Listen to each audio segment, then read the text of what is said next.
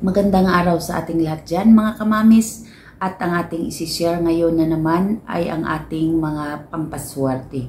So ang mga pampaswerteng ito mga mamis ay kung ikaw ay nahihirapan ng gusto sa buhay at kung gusto mong masolusyonan ang inyong mga paghihirap or ang inyong mga pinagdadaanan sa buhay, ang bidyong ito ay para sa iyo.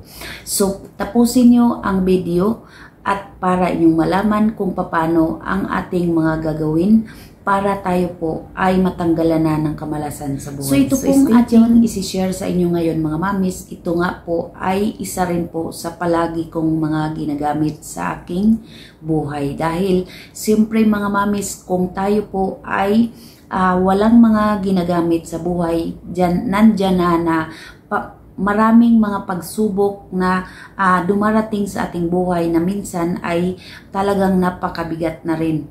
Kung kaya mga mamis, palagi ko po itong ginagamit at ito pong mga bagay na ito mga mamis ay napakasimpleng gawin pero napakaswerte din ito sa ating buhay.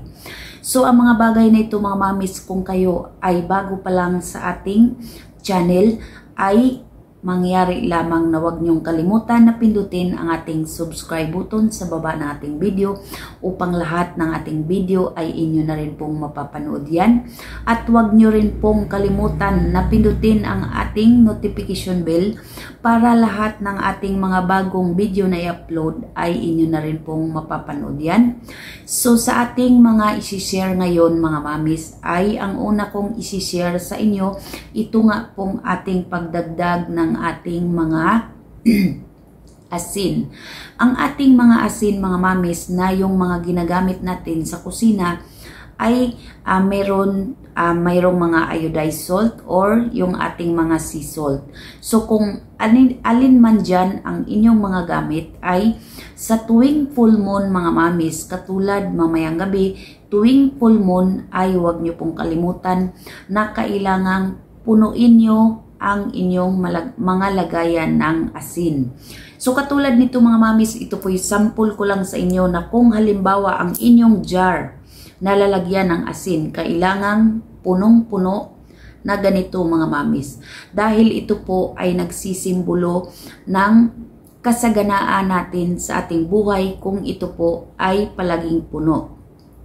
So katulad din po ito ng ating mga bigas mga mamis na kailangan wag po nating sasairin ang ating mga bigas kapag ka nakita natin na kunti na lang or uh, nangalahati na ang ating lalagyan ng ating bigas ay kailangang bumili na naman po tayo para hindi tayo nauubusan. Dahil ang pagkaubos nito mga mamis, yan din po ay magsisimbolo din po ng kahirapan natin sa buhay.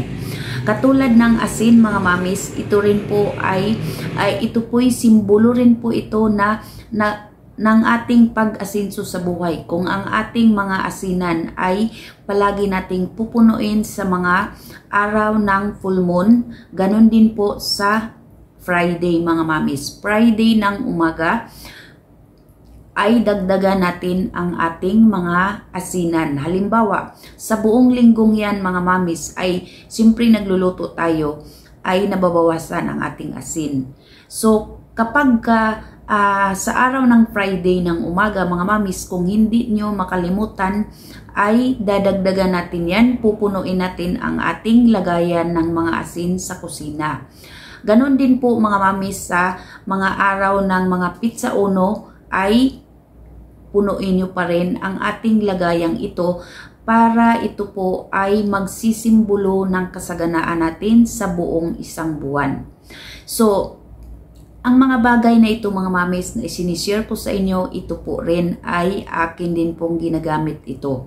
At talaga namang napaka-swerte ko mga mamis dahil sinasabi ko na talagang hindi naman ako uh, mayaman pero hindi rin ako naghihirap. Kung kaya mga mamis sa ating mga kapatiran dyan na sobrang sobra nang nahihirapan sa buhay, sa napakasimpleng bagay na ito ay gawin ninyo dahil ang ating mga asin ay mura lang naman. So, gawin natin ito sa ating mga asin. Kung tayo po ay bibili ng asin, ay wag naman din po sa araw ng biyernes. Bibili po tayo halimbawa mga linggo o kaya uh, lunes, yan po ay bibili tayo ng asin. Dahil pinapaniwalaan din po nila mga mamis na ang pagbili natin ng asin ay kailangang itaon natin yan sa araw ng uh, Sabado, Linggo o kaya naman Lunes, mga ganong araw. Basta't wag lang ang Friday mga mamis. At kailangan kapag ka bumili din po tayo ng asin mga mamis dahil ito po ay malimit po natin ginagamit ito sa ating mga rituals uh, damihan na natin kaagad. At ang aking ginagamit mga mamis ay sea salt. So iba rin po ang ginagamit natin para pangluto. Yun po ang ating mga iodized salt So, dito sa ating mga sea salt, mga mamis, ay bibili nilang po tayo ng kahit mga tatlong kilo at yan po ay matagal nyo na pong uh, gagamitin yan dahil pwede rin po kayong maglagay nito mga mamis. Doon sa nauna nating video ay nag-share din po ako na maglagay tayo, kumuha tayo ng ating mangkok na yung babasagin kahit na yung mga meron tayong mga maliliit na mangkok mga mamis na babasagin na yung transparent. So, yun ang ating gagamitin. Pero kung talagang walang transparent, mga mamis, pwede tayong gumamit na yung parang ano siya, yung parang well, hindi siya transparent, pero uh, yun po ay babasagin din po. So, maglagay tayo ng puno niyan sa ating lamisa. So, katulad ng uh, na-share ko, pwede kayong maglagay ng isang mangkok punong-puno at baunan nyo yan ng isang ulo ng ating mga bawang. Dahil ang ating asin mga mamis, yan po ay nagsisimbolo ng kasaganaan sa ating uh, buong kabahayan. Kung kaya, kailangan din po nating maglagay dyan. At yung ating bawang naman, ang ulo naman ng ating bawang, yun po ay magsisimbolo ito ng mga uh, pagtaboy ng mga kamalasan sa ating loob ng tahanan. Kung kaya, kailangan din po nating maglagay ng mga yan. So, yun po mga mamis ay hayaan nyo lang ma na uh, nandoon ang ating mga asin na yan. At siyempre matagal naman masira yan. Kung hindi pa siya nagtutubig ay hayaan nyo na lang na nandoon yun. Basta't pag nakita nyo na halimbawa parang namamasa-masa na siya or nagtutubig ay pwede nyo nang palitan, ibuhos nyo sa plastic na itim at itapon kaagad. Yun po ang ating mga ginagawa sa mga asin natin na mga natunaw na.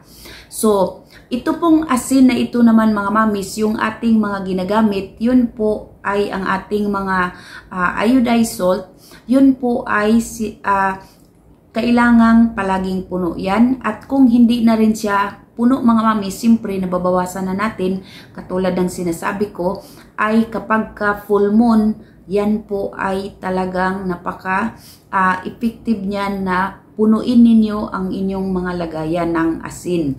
Ganon din po sa araw ng Friday ng umaga, punuin nyo pa rin ang inyong lagayan ng asin.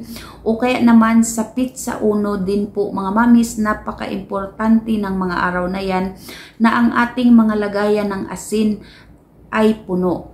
At uh, ang mga bagay na ito mga mamis ay napakasimple lang na gawin para sa ating mga Halimbawa, kung busy tayo mga mamis, ito po ay napakasimple lang gawin pero napaka-effective nito na humatak ng swerte sa atin.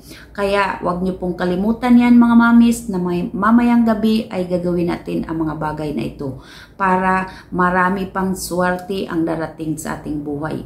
Kung kaya mga mamis ay kung nag-enjoy na naman kayo sa ating mga sinishare ngayon, ay huwag niyo pong kalimutan na mag-subscribe na sa ating channel kung hindi pa kayo nakapag-subscribe. At sa mga nakasubscribe na rin po, ako po ay nagpapasalamat sa inyong lahat at hangad ko pong tayo pong lahat ay magtagumpay sa buhay at tiwala sa ating mga sarili, sa ating mga ginagawang ito at pero una-una sa lahat ang ating panalangin. Huwag po nating kaligtaan ang ating panalangin araw-araw at pag magpapasalamat sa lahat ng mga blessings na ating nakamit.